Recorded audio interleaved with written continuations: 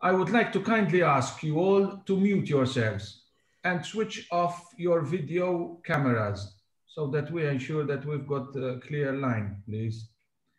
Any questions that you may have for our speakers, please send them via chat box that you have on your screen. These will then be read and answered after all the speakers have delivered their respective address at the end of this launch. Thank you. May I ask His Excellency Archbishop Ignatius Kaigama from Nigeria to lead us in the opening prayer.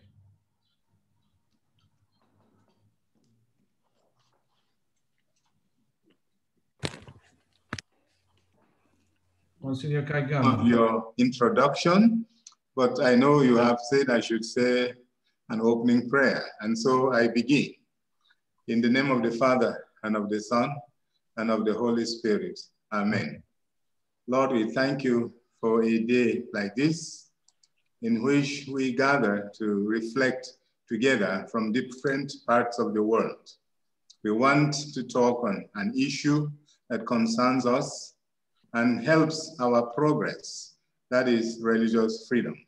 Bless us with your presence, guide us with your Holy Spirit, and may all our discussions here be fruitful and helpful to us and indeed to the whole world. We ask this through Jesus Christ, our Lord. Amen. Amen. Thank you very much, Your Excellency. We will start off now with a short video.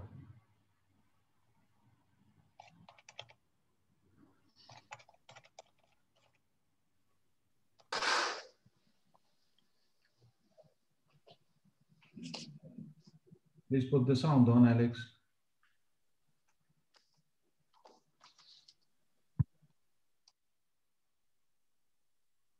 Alex, the sound.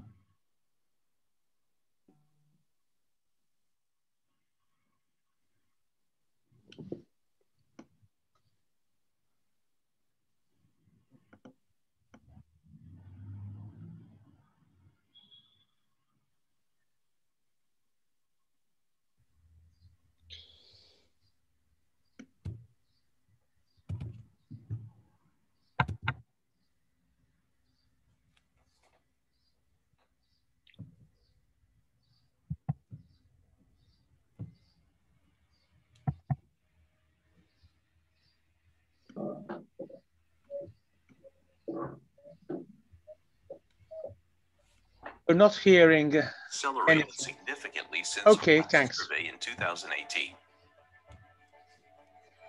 Close to 4 billion people live in the 26 countries classified as suffering the most intense attacks on religious freedom. Almost 50% of these countries are in Africa. Over the last two years, transnational jihadist groups who systematically persecute all those who do not accept the extremist Islamist ideology have consolidated their presence in sub Saharan Africa. While a big part of the territory is not accessible to humanitarian aid workers, governments are either unable or, in some cases, apparently unwilling to address the issue. Only recently have multinational task forces been established to help the local governments. In Asia, China, and North Korea are the worst offenders where religious freedom is non existent, as are the majority of human rights. In China, state control is increasingly oppressive. Mass surveillance, including artificial intelligence, refined technology, a social credit system that rewards and punishes individual behavior, and brutal crackdowns on religious and ethnic groups enforce the state supremacy. This is particularly evident through mass internment and coercive re education programs affecting more than a million mostly Muslim ethnic Uyghurs in Xinjiang province. In Myanmar, ongoing assaults against Christians and Hindus in Kachin State have been cast in the shadow of a massive multi phased attack by the military and other armed groups against the 1 million mostly Muslim Rohingya population in Rakhine State. A growing challenge to religious freedom in Asia comes from expanding ethno religious nationalist movements. The trend affects billions in this continent, mainly in democratic or semi democratic contexts, such as Hindu majority India and the Buddhist majority Sri Lanka and Myanmar. The profound impact of religious freedom violations is most evident in Pakistan, where vulnerable women and girls of minority faith groups are abducted, raped, and obliged to change their faith in so called forced conversions. The rights of these girls and women are so comprehensively denied that they become slaves. In the 36 countries marked in orange in our categorization, full religious freedom is neither enjoyed nor constitutionally guaranteed. During the period under review, President Erdogan of Turkey took steps to position the country as a global Sunni power, threatening the rights of other faiths in the process, as exemplified by the conversion of the Hagia Sophia in Istanbul into a mosque. Islam is promoted in every aspect of public life. In some states in the Middle East, South and Central Asia, and the former Soviet countries, freedom of worship is guaranteed, but not full religious freedom. Furthermore, in some countries, conversion from the majority religion is forbidden by law, while in others, suppressed as a result of strong societal pressures.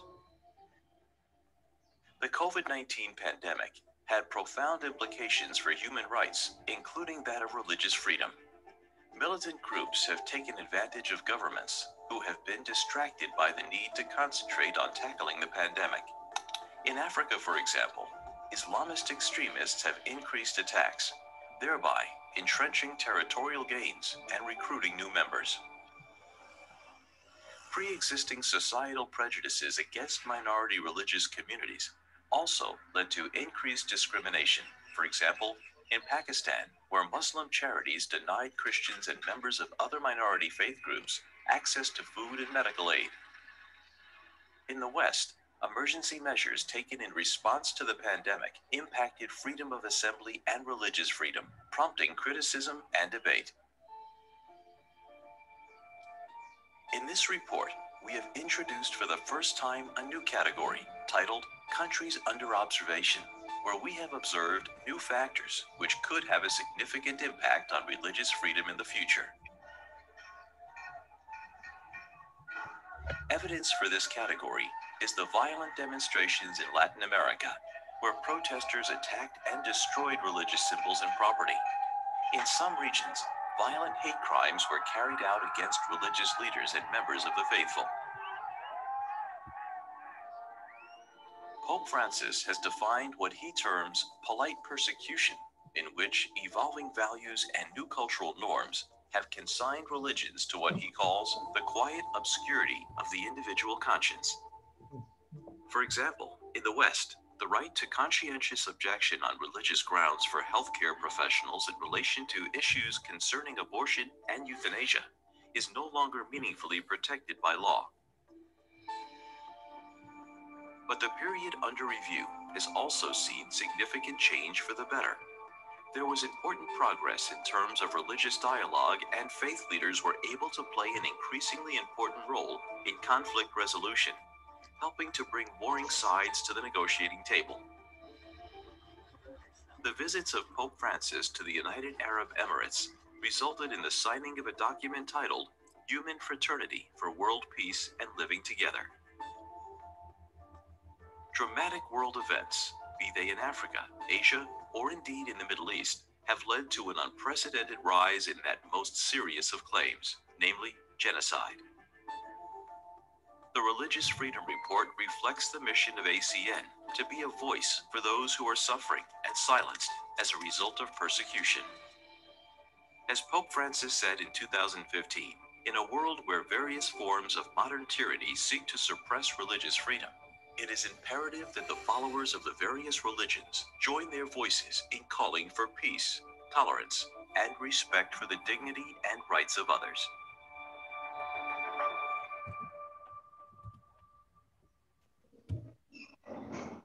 Thank you very much.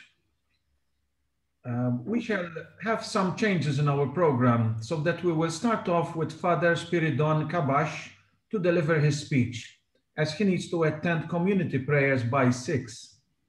I will then deliver my speech after his.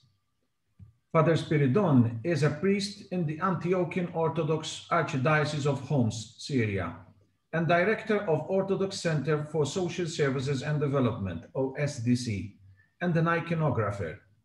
He has a license in theology and philosophy. Father Spiridon wrote the icon of the Blessed Virgin Mary, Mother of Sorrows and Consolatrix of the Syrian people, as part of the Console My People, a campaign of prayer for Syrian Christians sponsored by ACN alongside the Catholic and Orthodox churches in Syria. I now kindly ask Father Spiridon to deliver his speech. Father Spiridon.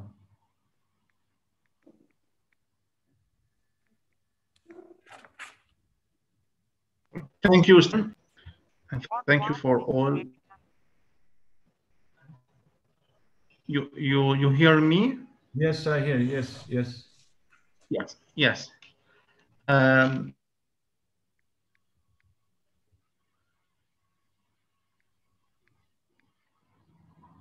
to speak in Arabic, and uh, my friend uh, Iyad, he will uh, translate to English if it's possible because my English it's not very good. No Okay. problem. No problem. No problem. So هلا نحكي آه بعد الحرب العالمية الثانية آه المسيحيين كانوا 20% بسوريا Uh, after World War II, uh, there were 20%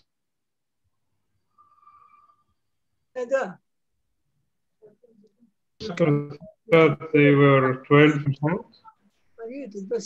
and وبعد وبعد الحرب وعمل العنف من قبل 10 سنين صاروا 3% after after the violence Uh, after the, vi- uh, the violence acts in Syria in these recent uh, years, in this uh, last 10 years, uh, now we are 3% Christian in Syria.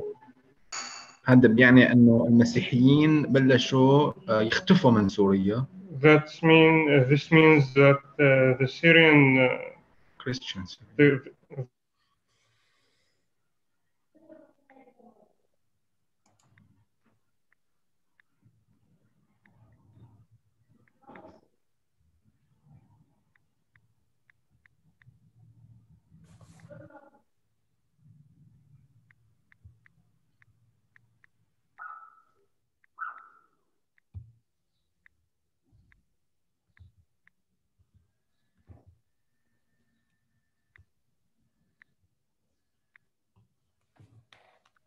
Father Spiridon, we're not hearing you.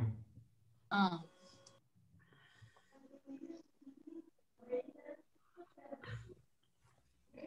Father Spiridon.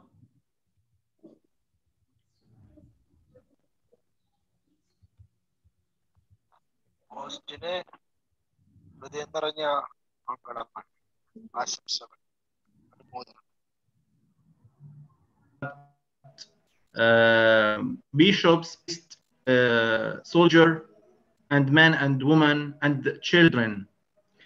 Now in Syria, there is a, a big program, big problem in uh, with the, the the Christian people because we we we uh, we have. Uh, we have a problem in in a, a economical problem because uh, the war making the people more poor. And uh, the young uh, people here now they thinking about traveling to europe you know or america or so uh, the the situation here uh, it's very dangerous and the excellency mario zenari he is an embassy fr- from vatican here. He speak uh, uh, last year about the, uh, this uh, this situation. And he explained how the christian in syria suffering you know. And uh, we need help from all the world too make uh, uh, people here uh, uh, to, to to to keep him in this uh, in this uh, بلد, in this um, Country. country because this is very important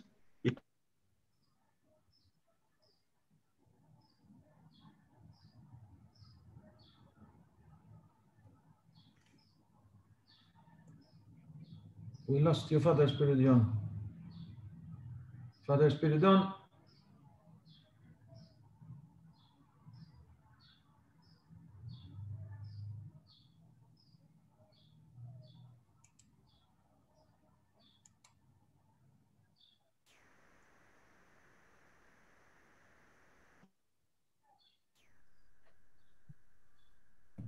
Please excuse us for this, but the line seems to be a bit.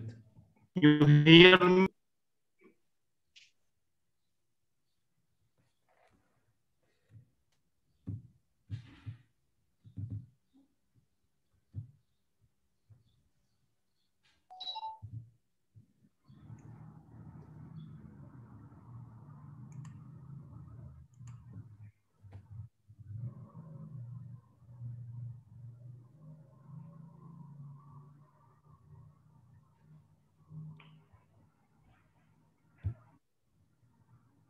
I believe we have to move on. Thank you, Father Spiridon, for unfortunately your speech, but as things stand, we couldn't uh, hear that much, as well as for accepting to share your experience with us today. Please send our regards to your people and assure them of our prayers. Thank you. This brings us to my speech for today. In a world where various forms of modern tyranny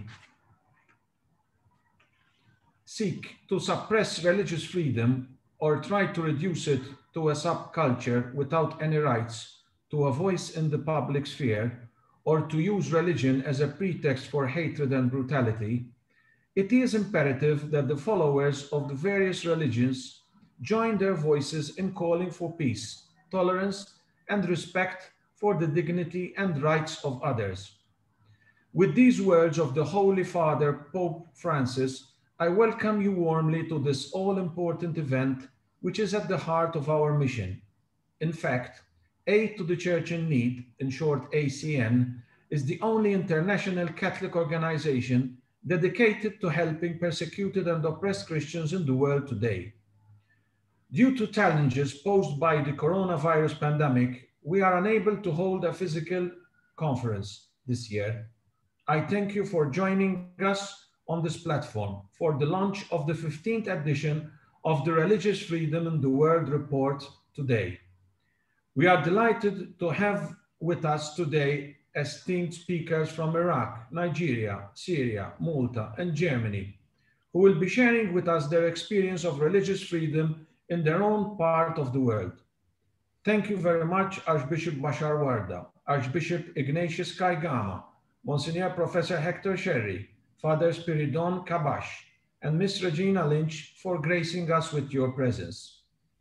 The Religious Freedom in the World report, published every two years, is ACN's principal research project and has evolved considerably over the years, from initially being a small booklet for its first editions to becoming a publication of approximately 800 pages, produced by a worldwide team.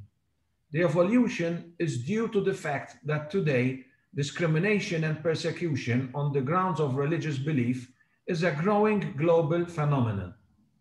Article 18 of the United Nations Universal Declaration of Human Rights of 1948 states that everyone has the right to freedom of thought, conscience, and religion.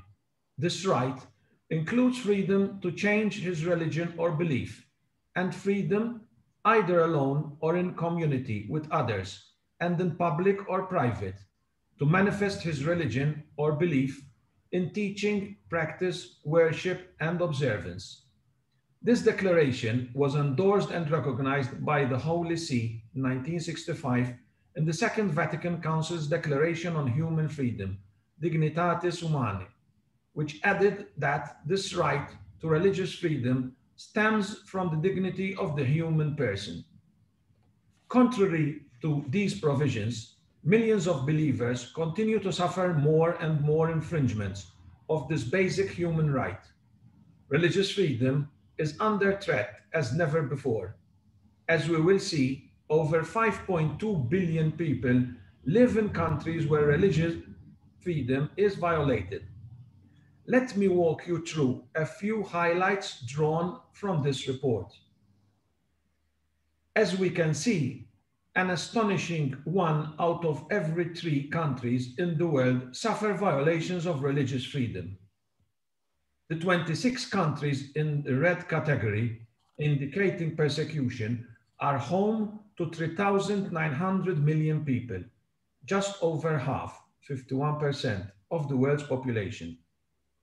This classification includes 12 African countries and two countries where investigations are ongoing for possible genocide, China and Myanmar or Burma. The 36 countries in the orange category indicating discrimination are home to 1,240 million people, where full religious freedom is neither enjoyed nor constitutionally guaranteed. Religious freedom is violated in almost one third of the world's countries, where two thirds 67% of the world's population live. The number of people living in these countries is close to 5,200 million. 62 countries out of a total of 196, again here in red, face severe violations of religious freedom as the worst offenders include some of the most populous nations in the world, China, India, Pakistan, Bangladesh, and Nigeria. Among the many findings, perhaps the most important factors impacting religious freedom today include authoritarian governments, for example, Marxist dictatorships in North Korea and China, Islamist extremism, particularly evident in sub-Saharan Africa with the rise of transnational jihadist groups, and ethnic religious nationalism, that is the promotion of ethnic and religious supremacy in some Hindu and Buddhist majority countries in Asia. So let's have a closer look at some of the findings. First of all, the continent of Africa and the topic of Islamist extremism. Violations of religious freedom, the countries marked in orange, include terrorism and desecration of places of worship. This occurs in 23 countries. More serious, however, is the dangerous growth of persecution those countries marked in red. As previously mentioned, 26 countries in the world suffer persecution. Almost half of these countries are in Africa. Extreme persecution with unimaginable ferocity, such as torture and mass killings, is now occurring in 12 African countries. The countries of East and West Africa are home to a complex mosaic of ethnic, religious, and linguistic groups and a prominently youthful population. While the region has considerable human and natural resources, problems of poverty, corruption, and the lack of educational and employment opportunities for young people results in frustration and social instability. This is readily exploited by local and transnational criminal and jihadist groups. Sub-Saharan Africa has become a haven for over two dozen extremist groups actively operating and increasingly cooperating in 14 countries. Research reveals that the number of people killed by armed groups in Burkina Faso, Cameroon, Chad, and Mali just in the first quarter of 2020 more than doubled compared to the same period in 2019. In Burkina Faso, in February 2019, 65,000 people were displaced by terrorist groups. Only 12 months later, in February 2020, no less than 765,000 people had been displaced by terrorist groups. The violence is unimaginable. In early November 2020, 15 boys and five adults were decapitated with machetes by Islamic State insurgents during an initiation rite for teenage boys. These massacres followed an earlier mass attack in April 2020, in which an estimated 52 men were killed in the village of Xitaxi after refusing to join the ranks of the jihadists. This radicalization affects not just the African continent. The ACN report reveals the rise of transnational Islamist networks with ideological and material support from the Middle East, stretching from Mali to Mozambique in sub-Saharan Africa, to the Comoros Islands in the Indian Ocean, and to the Philippines, Mindanao, in the South China Sea, with the aim of creating a so-called transcontinental caliphate. Here, the issue of concern is ethno-religious nationalism, the promotion of ethnic and religious supremacy in some Hindu and Buddhist majority countries in Asia, which has led to even greater oppression of minorities. Several countries in mainland Asia continue to be governed by Marxist one-party dictatorships. These include North Korea, where the policy towards faith groups can be understood as exterminationist. In China, there is mass surveillance, including artificial intelligence refined technology, a social credit system that rewards and punishes individual behavior, and brutal crackdowns on religious and ethnic groups to enforce the supremacy of the state. A new category has been introduced in this report, specifically countries under observation, where emerging factors have been observed drawing concern to the impact of these on freedom of religion. This is most tangibly demonstrated through an increase in hate crimes with a religious bias against people and poverty. These range from vandalism against places of worship and religious symbols to violent crimes against faith leaders and the faithful. The period under review also considers the profound impact of the COVID-19 pandemic on the right to religious freedom. Faced with the magnitude of the emergency, governments have deemed it necessary to impose extraordinary measures, in some cases, applying disproportionate limitations on religious worship as compared to other secular activities. In some countries, such as Pakistan or India, humanitarian aid was withheld from religious minorities. Especially in social networks, the pandemic was also used as a pretext to stigmatize certain religious groups for allegedly spreading, causing the pandemic. There were positive steps in the period under review. One such development is the reapproachment between Christians and non extremist and non-fundamentalist Muslims led by Pope Francis.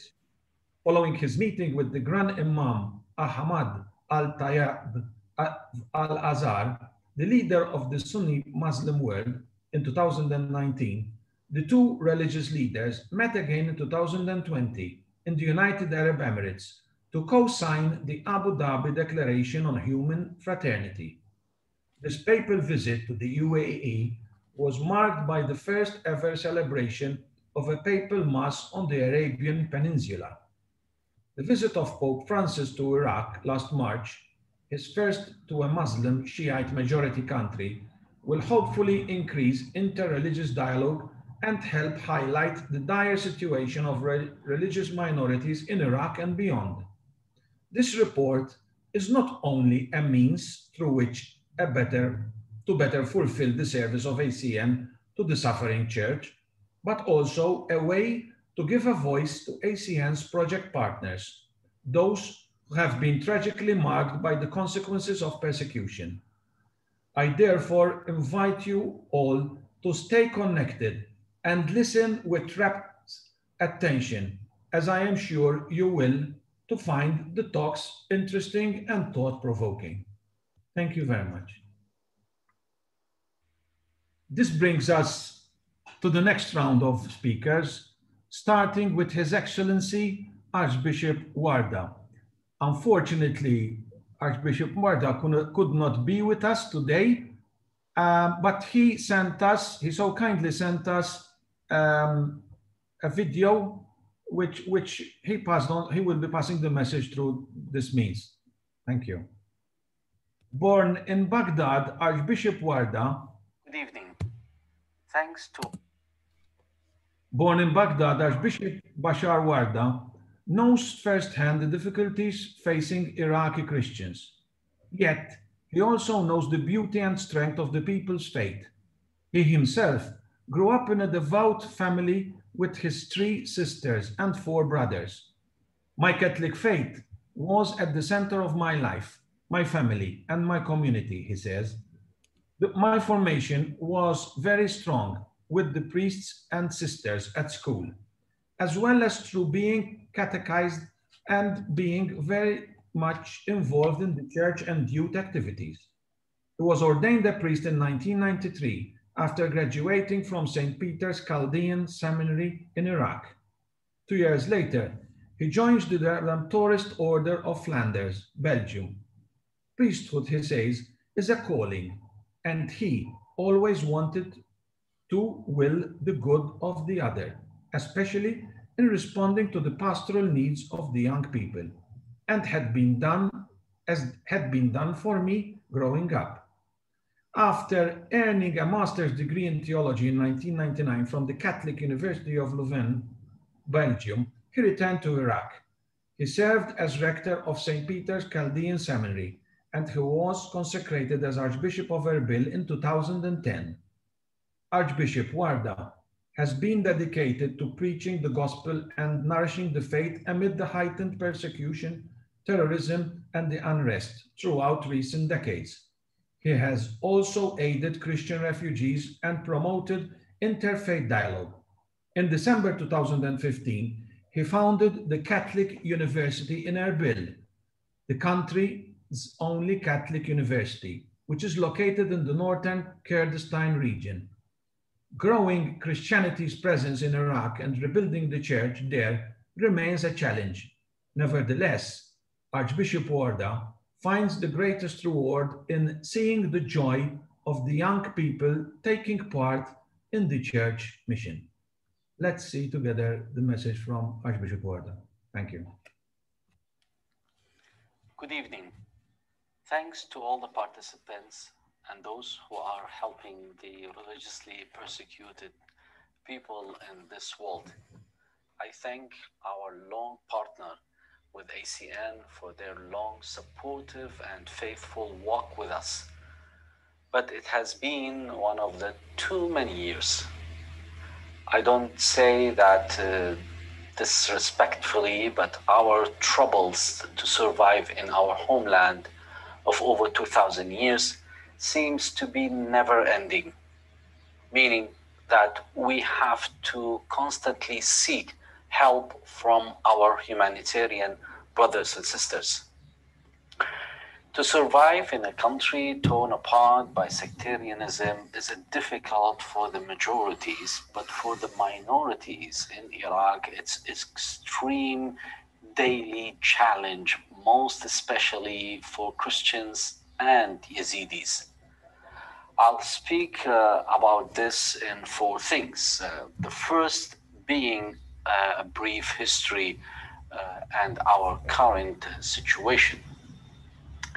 The aftermath of the 2003 invasion led to sectarianism. Christians were a key target due to their friendly relationships uh, in the West.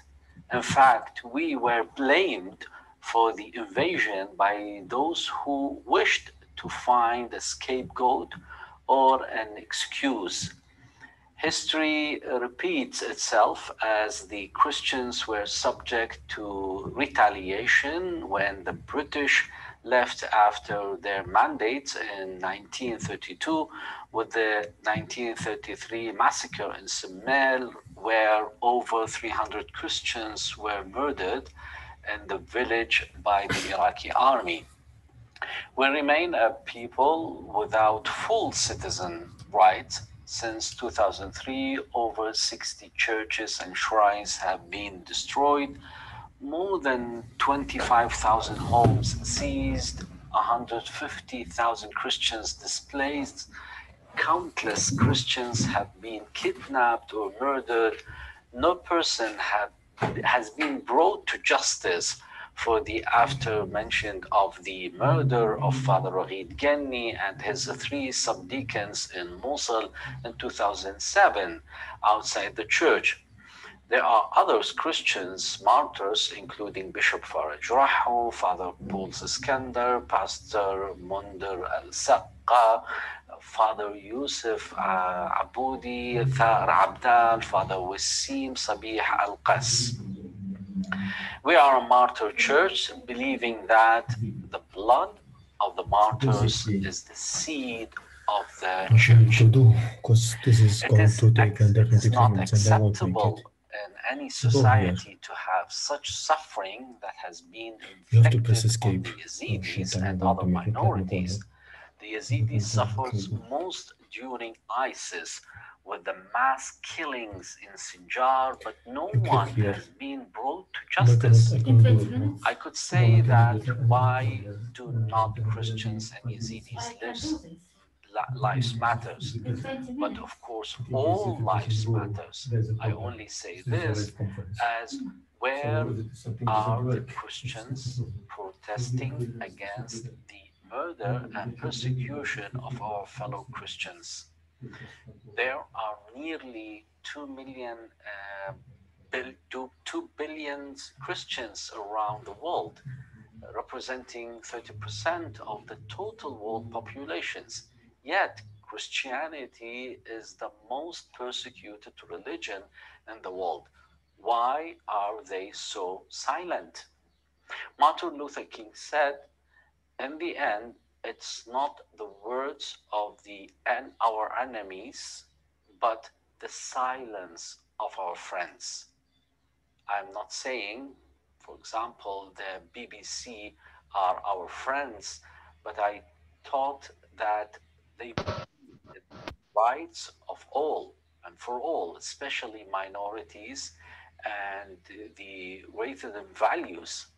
The BBC last year made uh, a major of five-part series on the ordinary people from both sides of the conflicts who lived through the 2003 invasion and the 17 years of chaos that followed. In nearly five hours of a major BBC series, they did not mention the words Mandaiyin, Shabak, Yazidis. We Christians are only mentioned twice in passing words, not by the narrator, about all living in peace under Saddam's Hussein. People who have been in my land for thousands of years are wiped out by one of the world's major public broadcasters. That is sending us a very dark warning. What message is the BBC giving to those who are persecuted us and denies us our rights? This series showed journalistic blindness to the persecuted Iraqi minorities, which is uh, tormented to a saying we do not matter, should have should have no voice and do not exist. That in itself is another form of persecution of persecution as we need our voices fairly heard in the international world as we need the world to help us to survive as minorities. Not having equal citizen rights is a form of persecution for all of the minorities. When your voice does not count in your own country, you are isolated and without legal protection and justice. The law and constitution makes the minorities second class citizens in the religious state. Added to that, Christians' history is not taught at school And this makes it very hard for our fellow Iraqis to understand us, accepts our us, and respects us. And most probably, they think that we immigrated to Iraq with the British soldiers in the last century. On the other hand, the country is in a recession and 70% of the population rely on government jobs in our entire economy. Most families in Nineveh Plain, for example, have not worked since ISIS uh, attack in August 2014. Since the right to return to the villages in May 2017, there have been no significant livelihood programs, and most of the villages have an excess of 75% employment. Therefore, people have had to survive on saving and relatives in the diaspora. But that has been going on since 1991 and cannot continue as money uh, is not circulating, uh, it's then become an ever increasing vicious cycle of how to survive for all the Catholic communities and minorities. The financial waves of the community were further uh, exacerbated with the pandemic uh, and the governments reducing the amount they pay for salaries for those who have jobs and pensioners, paying it five months late on the 22nd of December, Baghdad devalued the Iraqi dinar by 20% from 1,182 to 1,450 to the US dollar, which all of are so dependent upon. The Archdiocese cannot let down its flock, and we reached out for support in providing school and university scholarships, uh, medicine, operations, food, uh, basket foods, rental, uh, pensioners, and the list continued. Without jobs, people do not have the dignity to house, clothe, uh, feed, and educate their families.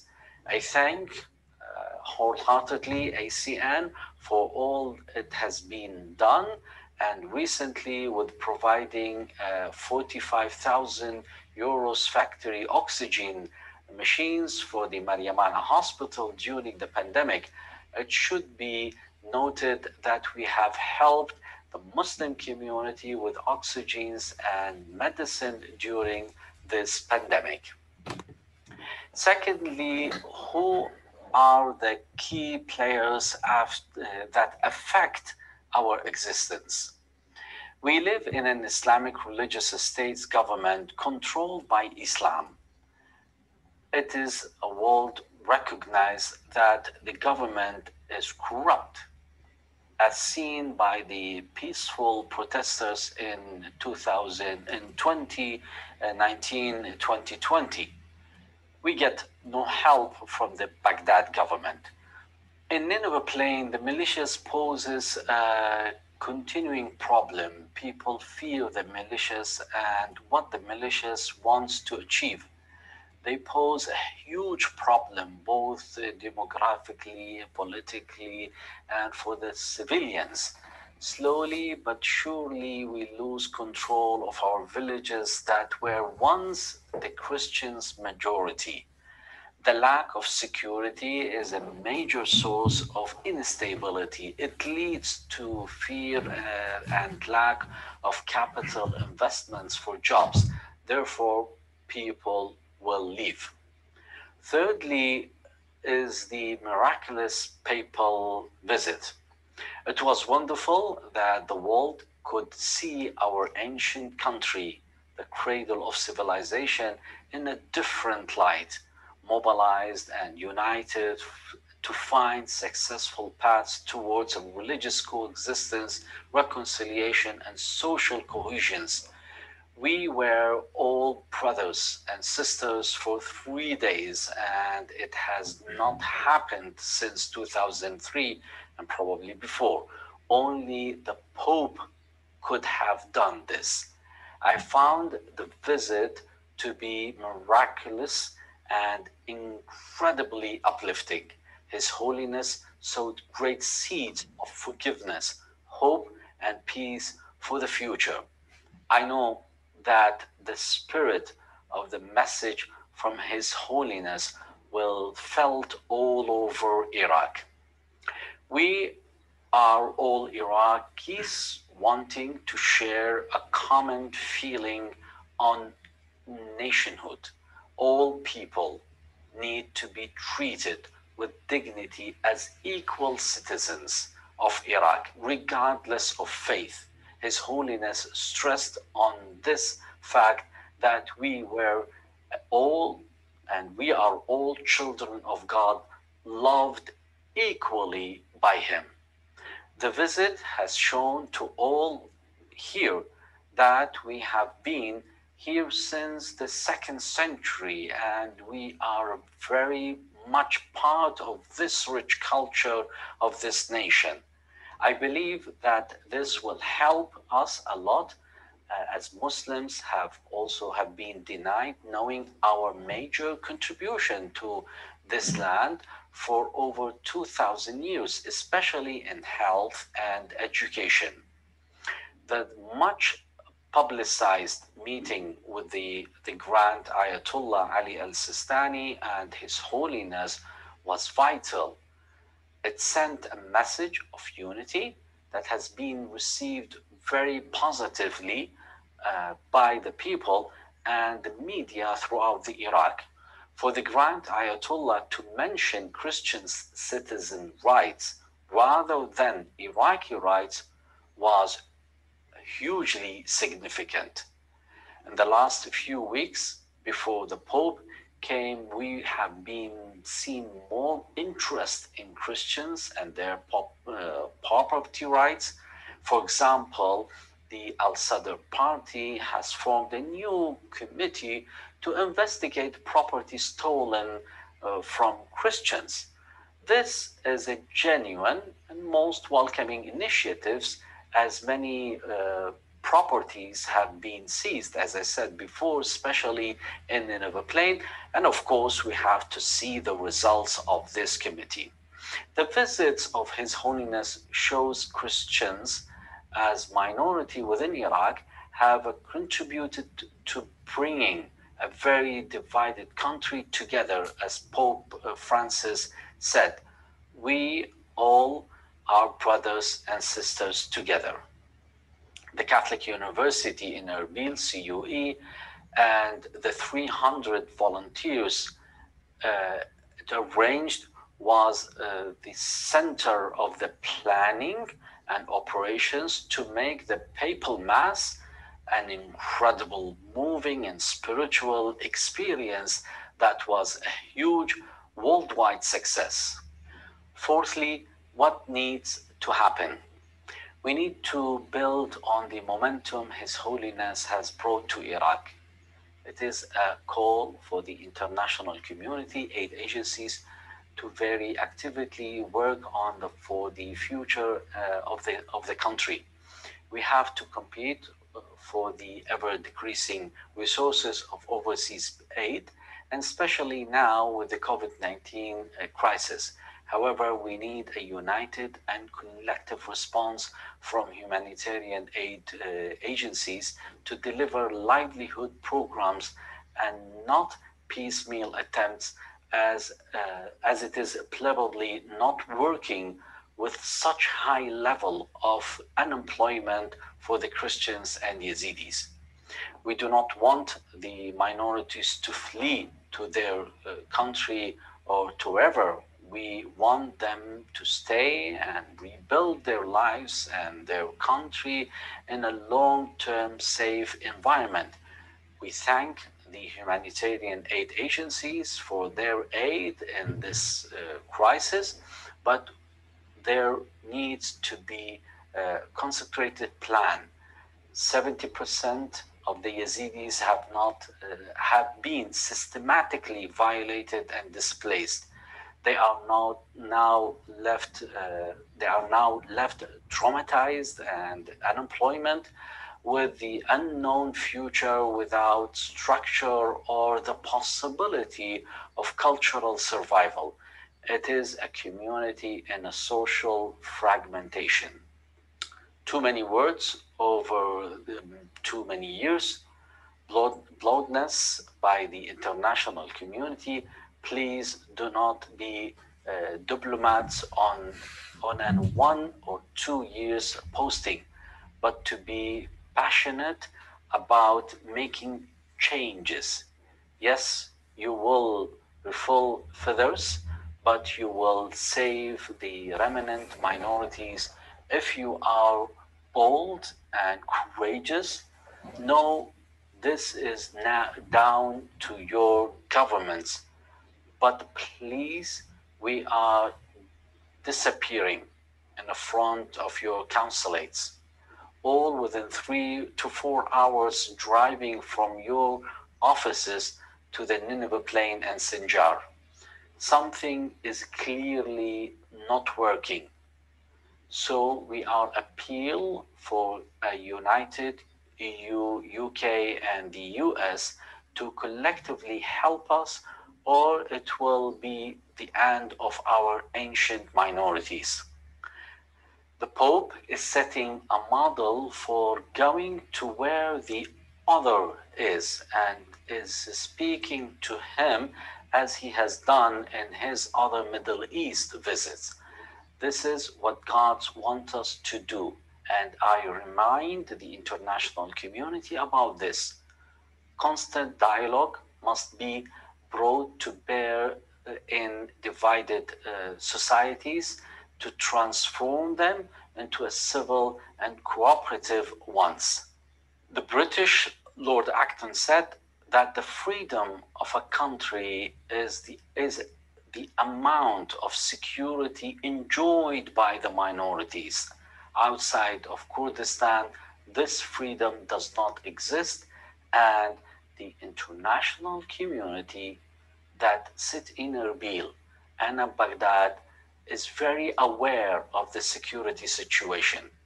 We need their determination, commitment, and passion to protect the persecuted so that they can remain in their homeland. They need to collectively put consecrated pressure on Iraqi regard, Iraqi government regarding uh, all of these issues. The international community should hold uh, a conference in Iraq on religious freedom and the huge benefits of peace it brings to society where those who have been who have suffered the world needs to educate and inform generations after generations about genocides and its preventions we have lost the Mandaiyin, the Jewish, who have been in Iraq for thousands uh, of years, we do not want to be the next. There has to be long term efforts and willingness to bring international investors to the country. When you do not feed people, they either leave or pick up arms. We saw the disaster outcomes when most of the Iraqi army were made unemployed. We need to pay respect and head what the peaceful protesters wanted. The country wants peace, and the international community needs to help and assist in this matter. In summary, we face many issues and challenges as Christians and Yazidis face the same issues and challenges. Unless the political change, the international community became together with Baghdad. The Christians and Yazidis are giving equal rights of the nationhood. Security is addressed, livelihood programs uh, introduced. Then what hope is there for, the, for us? A major beacon of hope are we the structure that we built for our people, churches, hospital, a seminary, four schools, a new hospital. I finish on the Catholic University of, of Erbil. The university is a key structure to keep Christianity in Iraq. The CUE will play a central role in educating Iraqi society about Christianity through, through, uh, through events and seminars with the aim towards reconciliation, justice, peace, and social cohesions. The university will create critical thinkers who do not only will be able to compete in the job market, but will provide future leaders within the communities and villages. If we can envision thousand plus students at the Catholic University in Erbil by 2025, 2026, we can continually and effectively through the numbers be powerful, sowing great seed for social cohesions, justice, critical thinking, and religious coexistence we will be affecting all of the communities within the Kurdistan and into Iraq. The university will be a center for learning that provides platforms for academics and researchers from all from around the world, access to a key country in the Middle East for debates, discussion, and research in a safe environment. The more events that we have, the more powerful will become our message of unity and equality, equality for all. A university that is for the minorities, that welcomes a significant percentage of Muslims and Yazidis. It's a pride of the minorities and the marginalized have their own education institution that allows equality for all.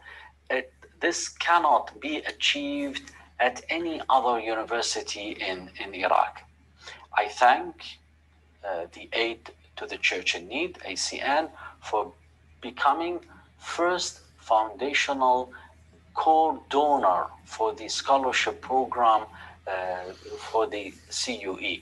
They will support 150 new students for the duration of their degrees from 2021 until 2024-25 we need to find more core donors to achieve 1,000 students by 2025. Without a doubt, the CUE is a beacon of light and some symbol of hope for the young people of Iraq. The provision of these scholarships will be an immense support. This international aid will not only benefit young people who are hoping for better future, but at the same time gives a clear future through education for the Christians, all the other minorities and the disadvantaged. We want to have the tools and opportunities to stay in our country and to build bridges of peace and coexistence. We thank you for your commitment, your hard work, your continued help and support to our mission. Thank you and God bless you all. Thank you very much, Your Excellency. It's very inspiring as well as detailed yet concise speech, as well as your dedicated energy towards the people of God. I now ask His Excellency Archbishop Ignatius Kaigama to deliver his speech. His Grace, Most Reverend Dr. Ignatius Kaigama, is the Archbishop of the Archdiocese of Abuja, Nigeria's capital, and President of the West African Bishops' Conference. He is the immediate past President of the Catholic Bishops' Conference of Nigeria and has been outspoken on the situation facing Nigerian Christians. As a strong promoter of peace and interreligious dialogue, Archbishop Kaigama founded the Dialogue, Reconciliation and Peace, DREP, Center in Jos, and has worked as chair of the Plateau State Interreligious Council for Peace and Harmony, and chair of the Christian Association of Nigeria for years.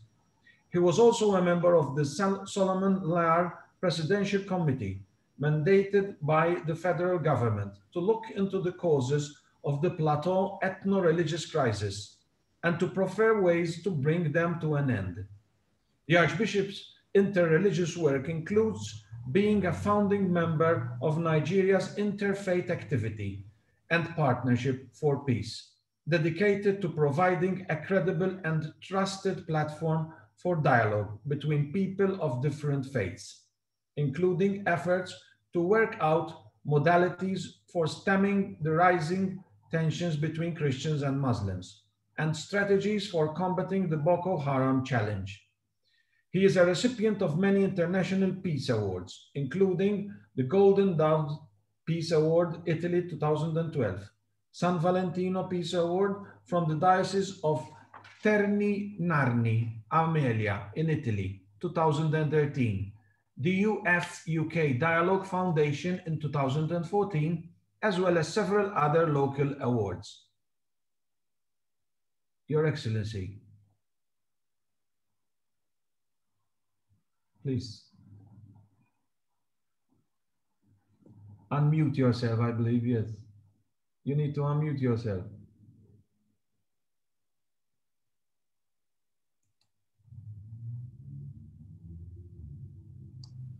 Sorry. Okay.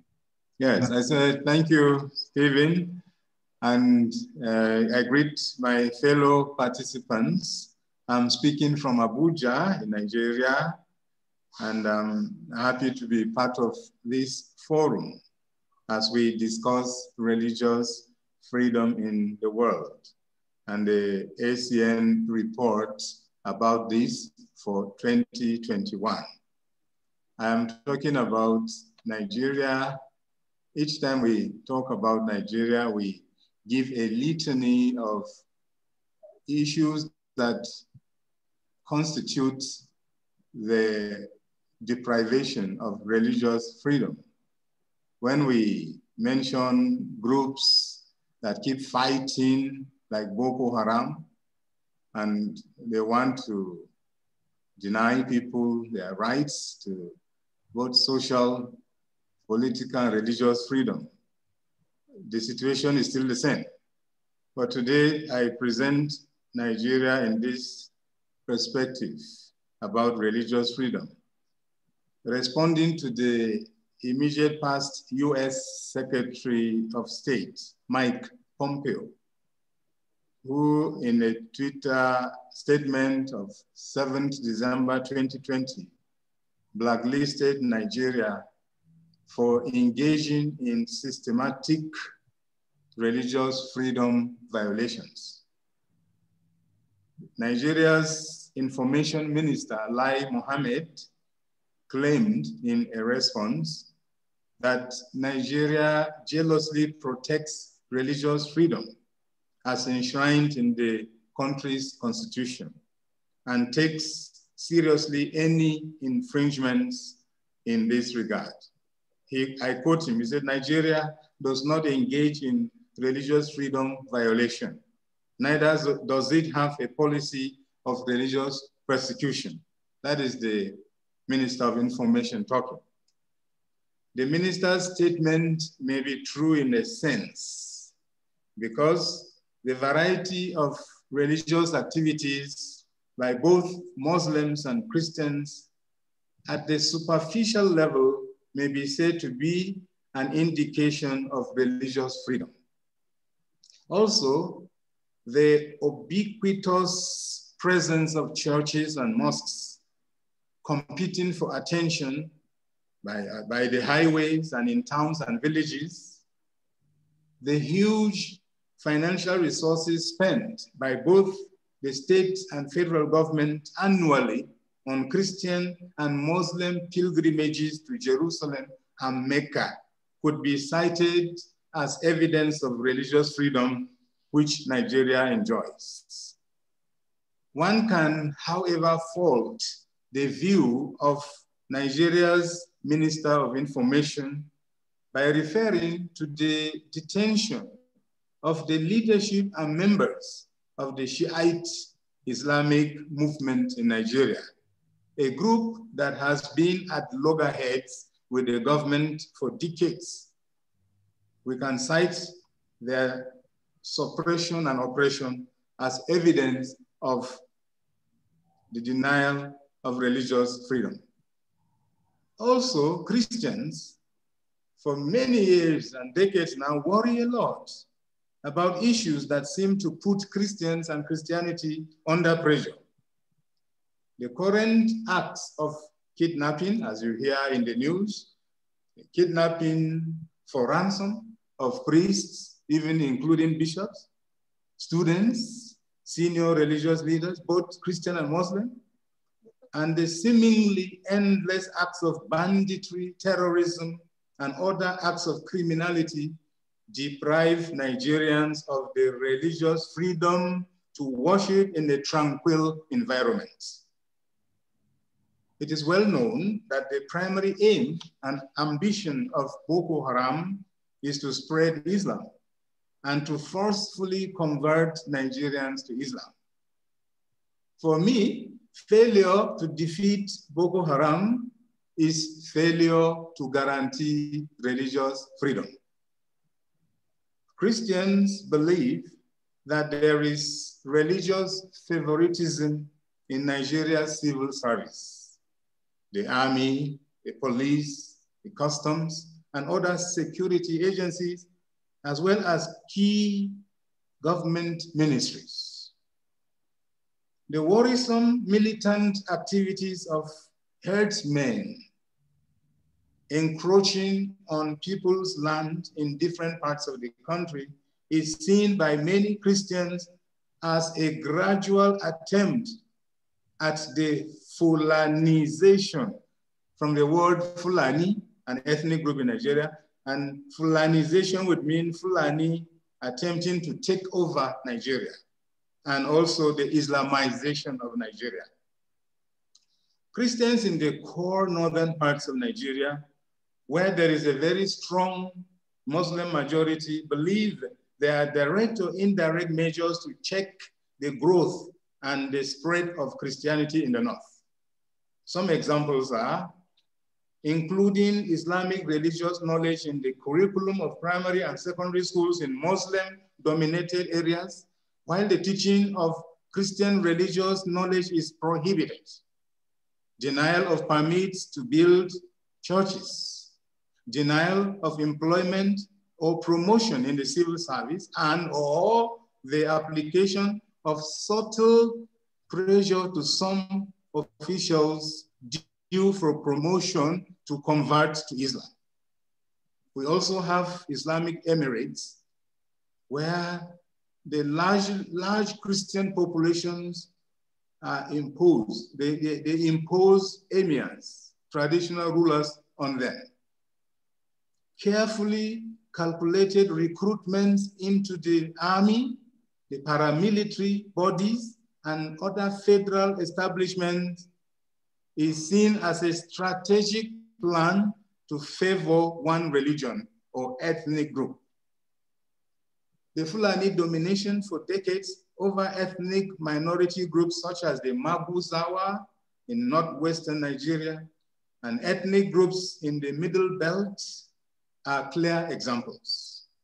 The story of my Jukun Kona people, the ethnic group I belong to, Jukun Kona, which was attacked by the Fulani in 1892 with the help of the French adventurer, Lieutenant Louis Mizon, is proof of this. Only two years ago, the chiefdom of Kona land was granted uh, by the government. And that is a liberation from the Fulani Muslims. What is worrisome and very worrisome in Nigeria today is not about the litany of deprivations that Christians suffer, but this unhealthy and unfriendly relationship between Christian and Muslim umbrella organizations, antagonizing each other and raising the tension level, which can lead to severe polarization and even the disintegration of this country. A typical example is the unnecessary hijab. That is that female veil or head covering Muslims use. The hijab controversy in Kwara State, then government got involved in, by insisting that female Muslim students in Christian-run schools be allowed to wear the hijab. They, they have a common uniform, but you want to introduce discrimination by saying the Muslim girls should wear a hijab different from the Christians. That is, that was seen to be unacceptable. We thought that the government should be more concerned about focusing on improving the standard of education or the structures, physical structures of schools, the teaching of good ethical conduct and, and patriotism. There are threats and counter threats from Muslims and Christians when these kind of things happen. There is, the tension is so high that I am afraid of what this can lead to. The attempt to introduce a bill on religious discrimination, prohibition, prevention bill in 2021 in the House of Representatives was another distraction, as the Christians viewed it as an attempt to entrench the wearing of hijab in favor of Muslims. Similarly, Nigeria's membership of what was the Organization of Islamic Conference, OIC, continues to raise eyebrows. The confession of Dr. Isa Pantami, Minister of Communication and Digital Economy, admitting that in the past, he expressed um, out of ignorance, anyway, he said, out of ignorance and youthful exuberance, he expressed views sympathetic to Al Qaeda, Taliban, and groups with pro jihad positions. And his declarations that the killing of unbelievers makes him happy. This is a serving minister who, in the past, had this frame of mind and thought. This pitched him you know, the supporters of this minister on one side who would be largely Muslims and from the north against the others, critics who are from largely from the south and Christians. And today the, that suspicion is so, so tense, so strong that Christians are talking of Islamization of Nigeria and the Muslims are claiming there is Islamophobia. But what is the most utmost concern today is the threat to Nigeria's corporate existence or the possibility of a religious conflict. It's not, it's not even about Muslims you know, killing Christians or what. Is to even survive as a nation is a problem. There is poverty, there is criminality, there is religious extremism and kidnapping, terrorism, militancy, and banditry. And I think these are the things that can bring about the collapse of Nigeria if we do not take time. So more concrete help in terms of intelligence gathering, intelligence information, and equipment to fight these crimes is needed from the international community so that these crimes don't cripple or destroy Nigeria, which will be catastrophic for the entire Africa.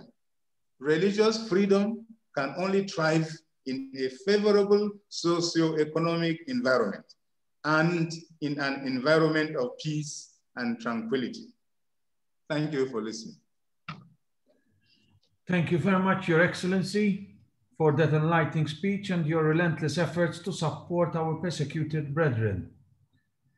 I would like now to invite Ms. Regina Lynch, our ACN International's Project Director, to deliver her speech.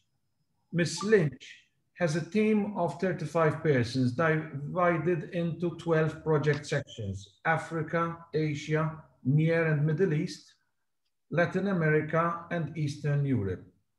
Together, they study between 6,000 and 6,500 projects per year, according to certain criteria and priorities. She has witnessed what it means to be a voice to the voiceless. Regina, please. Thank, thank you very much and good evening to everybody. Um, I would just like to start by saying every year we help in somewhere around 140 different countries worldwide. So this means that we are also helping in many of these countries where religious freedom is at risk or is already uh, deprived. How much we can do depends a lot on the, the political situation. But this also means that we hear a lot uh, from the witnesses on the ground, our project partners, about the situation. And this is also an important source for the Religious Freedom Report. I, uh, in order to be brief, I just wanted to mention this evening uh, two countries as examples, uh, one in Africa and, and one in Asia, where we have great concern about the question of religious freedom. And the first one, which Stephen mentioned earlier, uh, is of course Mozambique, where at the moment we are receiving shocking reports and photos from our project partners about the barbaric attacks by jihadists who call themselves the Ahlussunnah Wal uh, and who claimed two years ago to have joined the Islamic State. They operate in the north of the country, in the province of Cabo Delgado, which has huge resources in natural gas and other riches as well.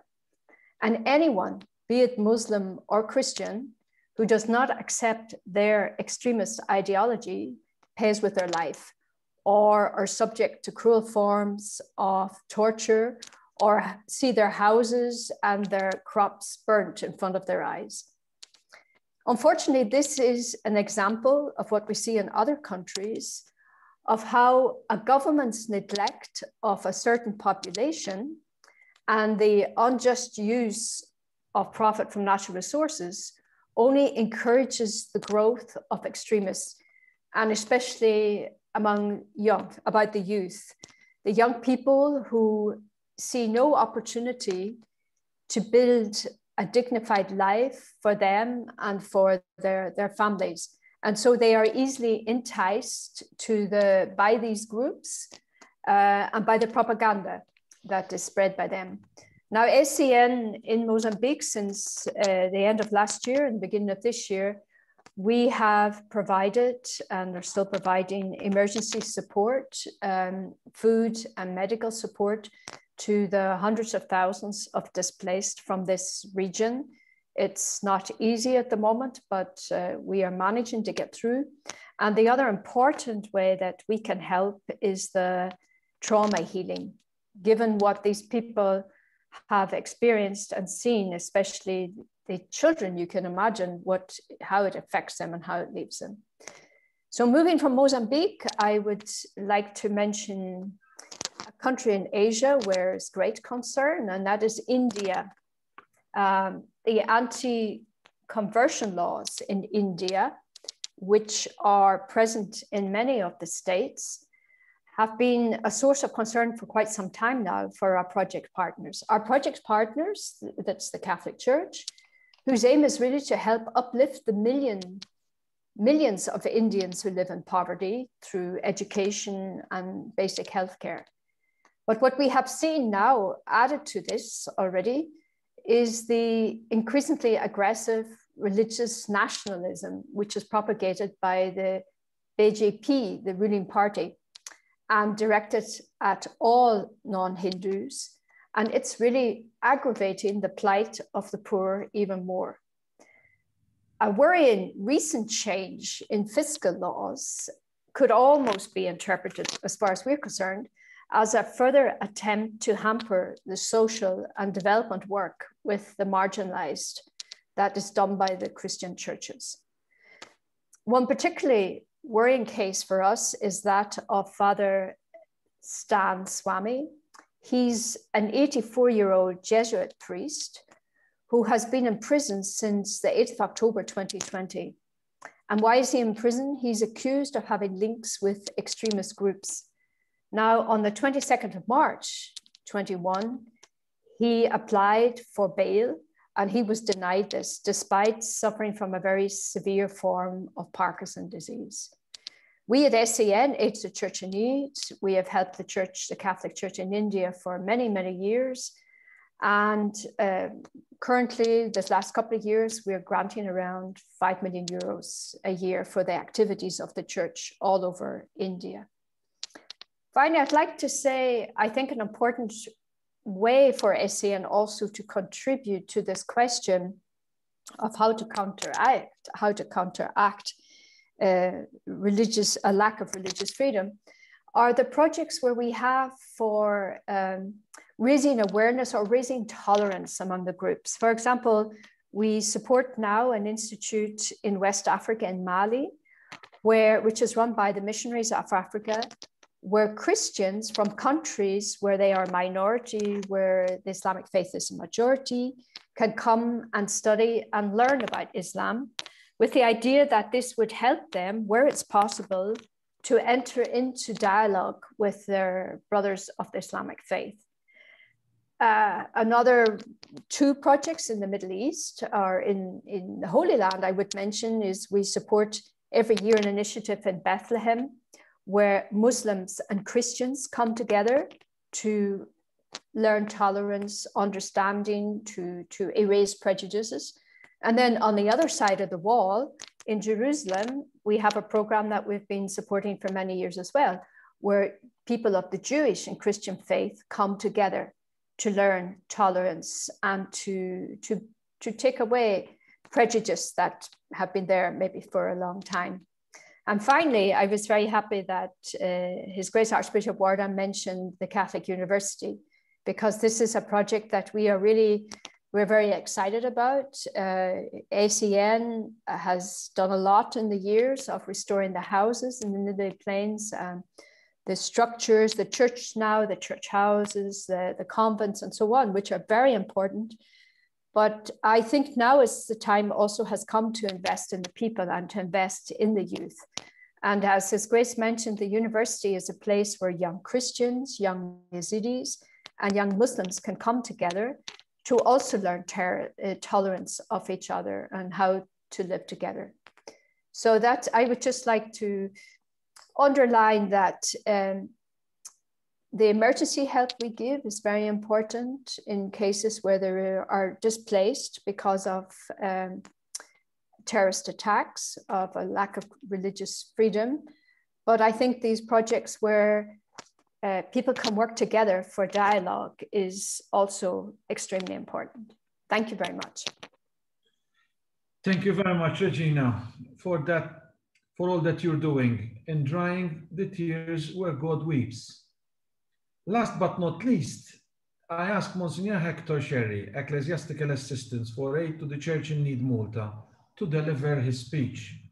Reverend Professor Scerri is Deputy Dean of the Faculty of Theology and the founder president of the Maltese Patristics Society. In September 2008, he was appointed president of the Malta Theological Commission and president of the Diocesan Ecumenical Commission. In July 2014, Pope Francis appointed him consultor to the Pontifical Council for the Promotion of Christian Unity. Father Hector, please. Thank you and uh, good evening, dear sisters in Christ, dear brothers in Christ. Authentic Christian discipleship and persecution are the two sides of the same coin. There has never been an era in the last 2000 years when Christians have not been persecuted. Him whom we would call today a senior citizen Simeon, the old man in the temple, when the infant Jesus was presented, stated clearly that the child would grow up to be a sign of contradiction. True disciples of Jesus are called to share this peculiar condition, that of being a sign of contradiction, a challenge to all those who ignore or worse still, trample upon human values, indeed, gospel values.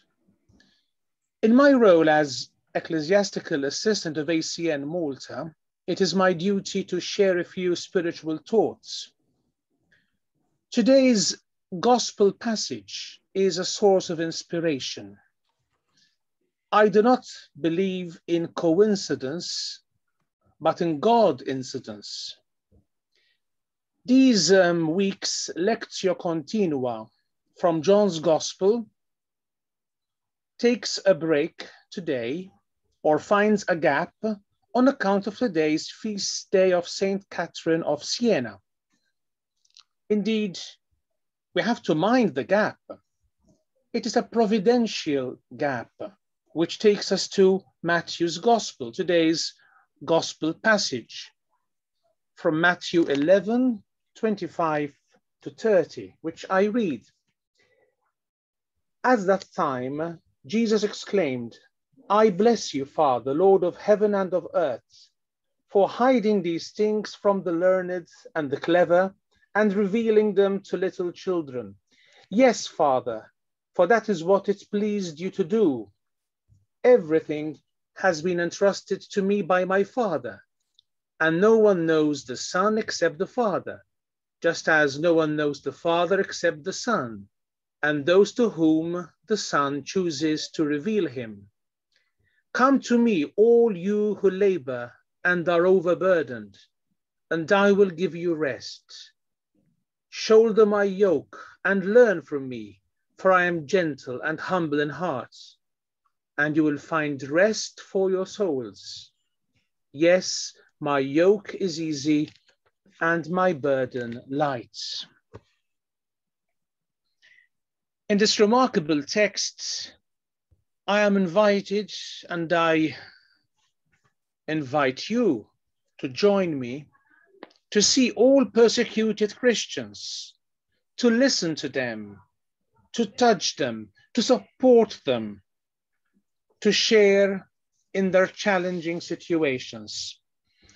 Challenging in two ways. One, because their existence is being challenged by those who persecute them. Secondly, because by means of their resilience and fortitude, they are challenging, yes, they are challenging those whose intention it is to crush them. And challenging to us to embrace Christian discipleship more faithfully and joyfully. In the text from Matthew, I can identify the little ones with all persecuted Christians. I can identify those to whom the Son chooses to reveal the Father with the millions of persecuted Christians in the countries mentioned this evening and elsewhere. I can see those who labor and are overburdened. They are the modern day martyrs, the prophetic voice of our sisters and brothers who are a sign of contradiction in 2021. The words of the gospel text from Matthew 11, today's gospel passage, have come to life for the umpteenth time last Sunday, the 25th of April, when the 43-year-old Comboni missionary, Father Christian Carlassare, Bishop-elect of Rumbek, South Sudan, was shot. This was a targeted shooting of a Christian who will be ordained bishop on Pentecost Sunday, the 23rd of May. Jesus praises the Father for revealing himself to mere children. The distinguished abilities of the intelligent scholar or the witty politician or the prosperous businessman do not serve God's will to reveal himself. Not only do the youngsters mentioned by Jesus not necessarily need to understand how God manifests himself, but they are not even in a position to proclaim his revelation in words. In words. This is the way our God of surprises acts. The Greek word for children in this moving exclamation by our Lord is nepioi, Nepioi, literally, those who do not speak, infants. And yet, and yet God reveals himself to and through our persecuted sisters and brothers, through Father Christian in Rumbek, and millions of anonymous martyrs, anonymous martyrs who, despite being nameless, are proclaiming, indeed proclaiming the name above all other names. Jesus, shouldering his yoke with us, makes him truly Emmanuel, God with us. It is the yoke of love, carried in his exemplary meekness and disarming gentleness, that will truly set us and all suffering Christians from all other man-made yokes that burden and weigh down the life of all true disciples. Finally, may the good and beautiful shepherd, our Lord Jesus Christ, fascinate us, continue to fascinate us, to fascinate all Christians, fascinate all persecuted disciples, that we, aware of the true cost, the true cost of discipleship, may remain faithful to our call, the call to bear witness to Easter joy, the call to be, yes, a sign of contradiction, the call to be prophets, both loud and at times voiceless, the call to be the little ones, journeying on the hidden path of faithfulness, selflessness, and solidarity. Amen. Thank you. Thank you.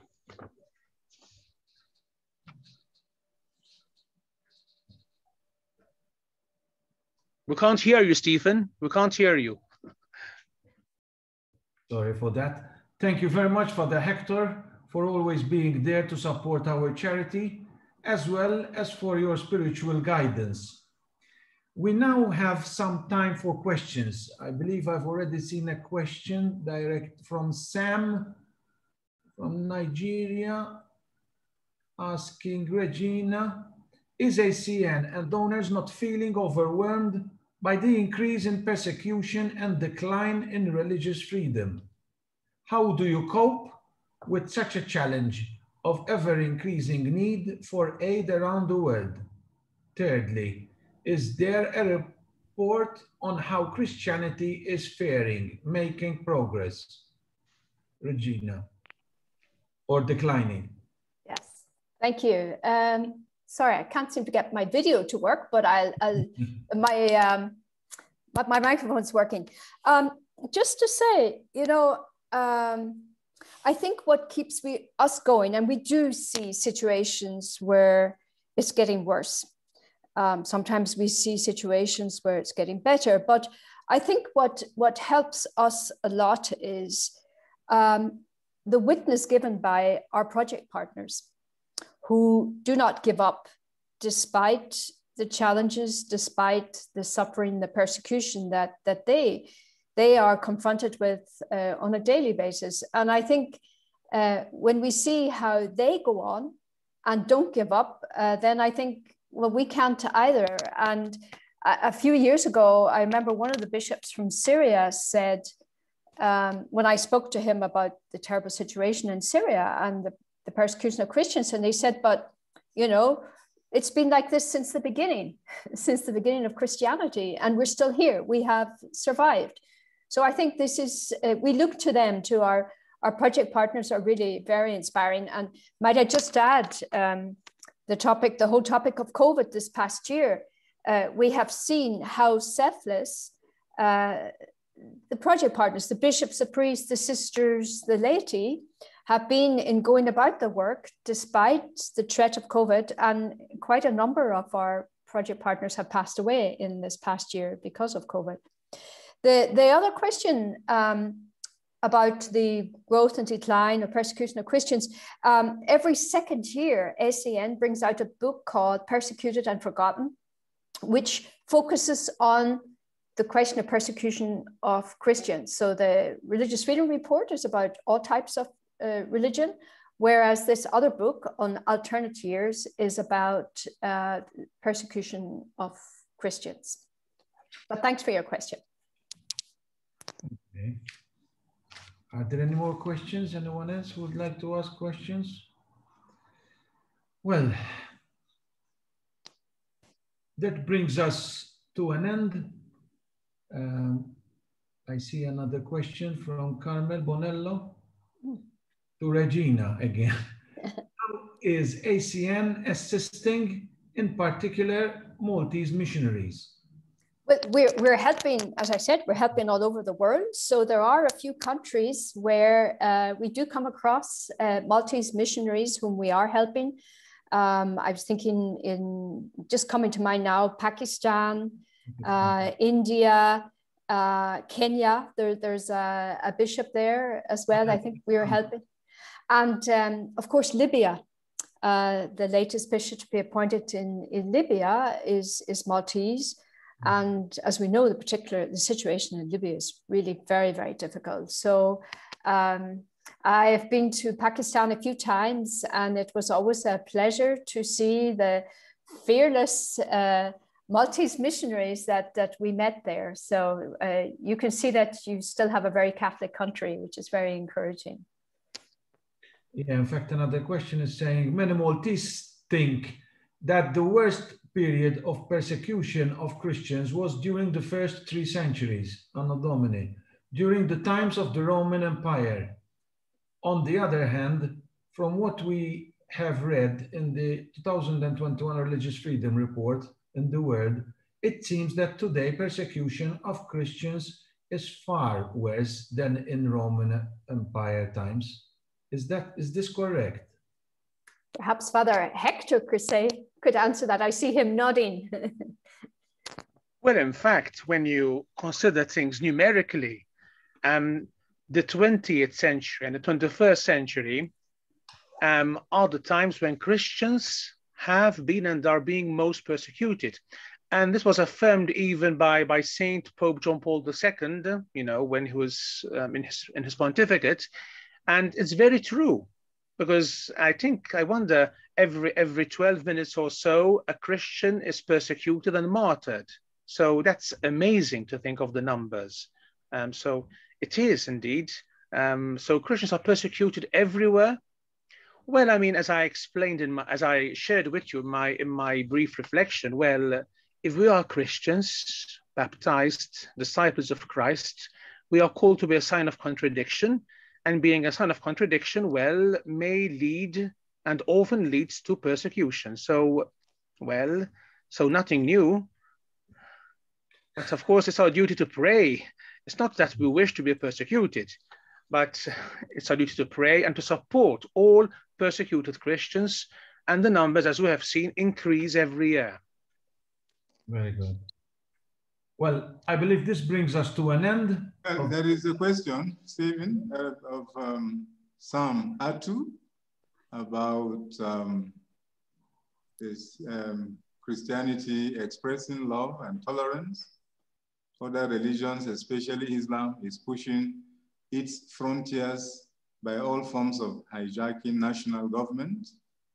In Nigeria, he is referring to Fulanization, Islamization, to education and unstopped violence. Your Grace, how would Christians continue on the path of the Great Commission given, to the, given the free decline in religious freedom?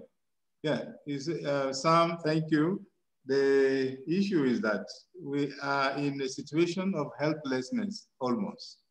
We feel so defeated that every week or two weeks you find children and students and priests even, religious, being picked up and taken into the bush.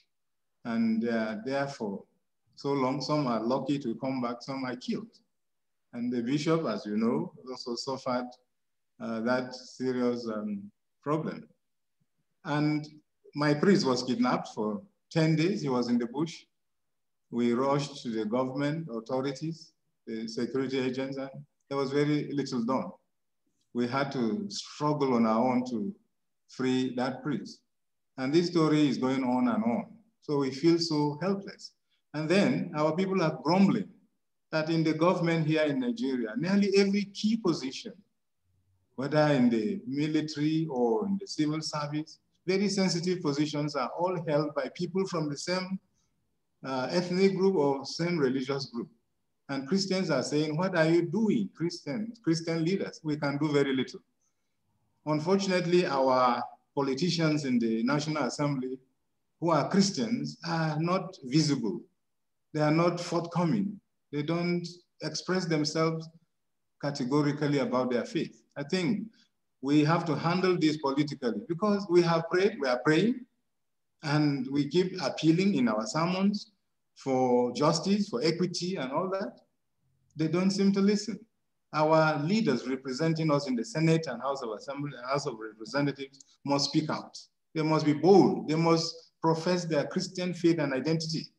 This is not happening. And I think politically, if we are together, Christians from the North, Christians from the Middle Belt, Christians from the South and the East, if they come together, I think we have a formidable body that can bring justice to Christians who are suffering. Right now, the Boko Haram issue in Maiduguri and elsewhere, there is no end to it. We are tired of even talking about it. We are tired, but it is going on and on. We feel helpless. So your prayers and support still very, very much needed. I don't know where this will lead us to in Nigeria, but it is quite serious. Very well, thank you, Your Excellency. I would like to thank Father Kabash and His Excellency Archbishop Warda, His Excellency Archbishop Kaigama, Regina Lynch and Father Hector, and all of you who attended and are supporting our persecuted brethren. I would like to ask Father Hector to say a prayer, a concluding prayer, please. Almighty Father, we thank you for having brought us together this evening. Although physically apart, we are one in spirit. So we thank you, Lord, for being with us and for sharing so many thoughts and ideas as we continue to pray for our separate, for our persecuted sisters and brothers all over the world.